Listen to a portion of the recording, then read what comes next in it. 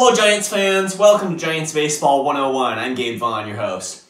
We added yet another subscriber today. The past few weeks have just been a real steady upward climb for this channel that I'm really happy about. Thank you so much, everybody who subscribed, and let's keep them coming. I think we can really grow this thing, and if we can do so by the end of this year, that would just be great. The Giants beat the Rockies 5 to 3 today, so they get a much needed win here. And although there's still a lot of work to be done as far as undoing the damage that's been done to the Giants National League West chances, it's a step in the right direction. And it, it really came at a time when they needed it. Ryan Walker pitched two innings as the opener today. Two runs scored off of him. In the first inning, the Rockies got one run on RBI single from CJ Cron, and then in the bottom of the first, Michael Conforto hit a two-run home run for the Giants to put them ahead two to one. But then in the top of the second, Austin Wynns, the guy who we thought was going to be a Giant this year, but because of, of just the unexpected way things unfolded as far as catching went for the Giants, they made a lot of changes and and Austin Wynns, He was I, I forget what what exactly happened to him, but he was moved from the forty man roster and well actually I, I don't think he was on the 40 man going into spring training but I mean he, he left the Giants organization. He's he's with the Rockies and he hit a home run today. But um, Blake Sabol had an RBI single in the fourth inning. Then in the fifth Austin Slater hit a two-run shot. So this this win over the Rockies, it's you, you just couldn't say enough about the fact that they it it was it just could not have been too soon for the Giants. And this this series against the Rockies too is something that they absolutely have to take advantage of. And I, I mentioned yesterday how critical it was that they come back and win the final two games of this series, and there, that that's that's kind of the whole importance of tomorrow. And the Giants are going to have Logan Webb on the mound, so obviously that is their best chance there. But I mean, today they got the bats going and home run power. It showed itself, so it's starting to look a bit like a, a bit like the Giants look when they're at their best. That's what we saw from them today. And Alex Wood went five scoreless innings, which that, that's a huge plus. And in his last start, he really struggled. Although I, I think it, it, from what I heard, it may have had something to do with, with just the humidity of the weather that day and what it was doing to his grip on the ball and all that. But I mean, several runs scored off him. He, he's really been used these days as a, a multi-inning pitcher. But he, he when he comes in, he works behind an opener. I, I think the Giants just see it as the best way to deploy Wood, to put in behind a guy who's pitching, not to have him immediately face the opposing team's best hitters. And it's kind of this whole opener strategy is a fairly new thing to baseball as it is, but lately the Giants have just been one of the primary teams to utilize it, and I, I think in particular the way they evaluate things, they, they really see an advantage in having a reliever kind of start the game and pitch first to a team's best hitters, and then you can still have a guy come in and go four or five innings.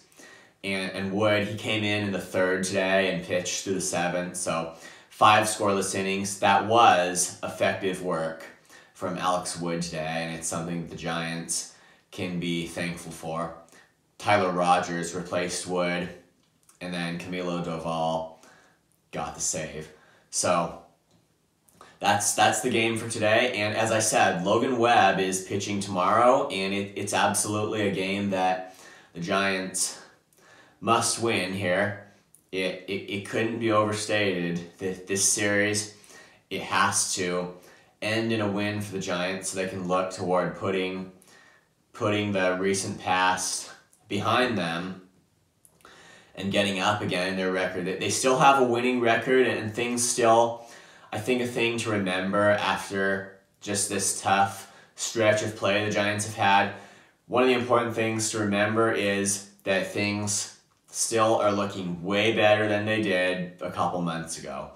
I mean, back then it was like the Giants were in the dust, way out of a playoff spot, and with whole a whole ton of other teams contending for that wild card spot it really just did not look favorable for them at all. So I think if we just remember the way things were, we can really appreciate what the Giants have done to get to where they are right now.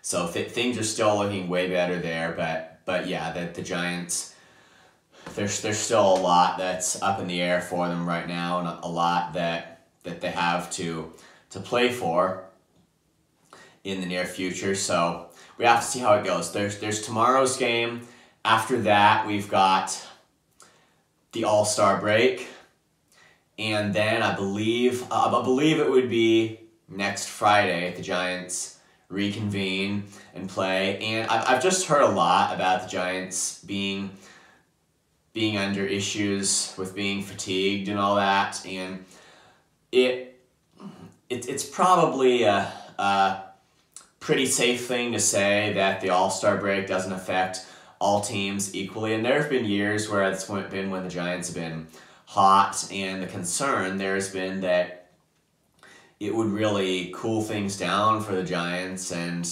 I mean, that, that's been the concern in I think at least a couple of the past few years. But now, with all that you're hearing about the Giants being tired, and maybe that's a reason they're losing energy, and probably that would apply to both offensively and, and pitching.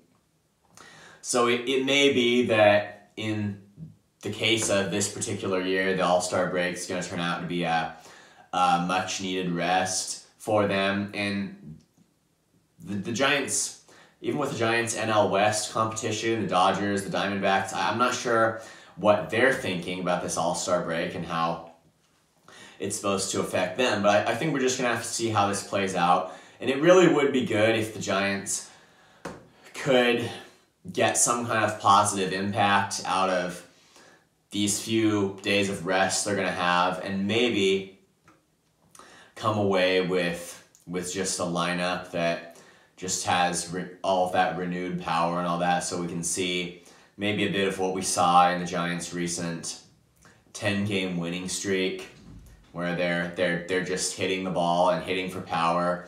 If if that can do them some good and it can revive that, then that's that that would just be a huge plus for the Giants. But right now they have to just focus on the task in front of them, which is quite simply winning the game tomorrow.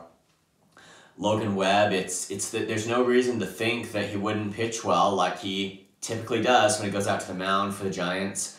This year, he he's been the guy, the ultimate guy the Giants have trusted just really for the last few years now. And I mean, he really emerged in the second half of 2021, and now he's really kept his role as the Giants' ace. But even beyond that, the Giants' bullpen is going to have to be in top shape so that they don't blow the game after Webb departs, because that's been an issue a couple times for the Giants this week, and that would just be the other thing that can't happen next week.